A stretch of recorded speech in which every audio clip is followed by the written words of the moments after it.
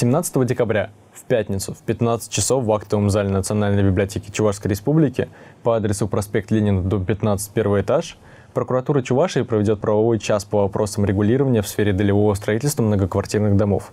Представители прокуратуры, органов исполнительной власти и надзорных органов разъяснят основные положения действующего федерального и регионального законодательства, расскажут об основных правах и обязанностях застройщика по отношению к участнику строительства, формах поддержки, предусмотренных государством для обманутых дольщиков и ответственности за нарушение обязательств по договору.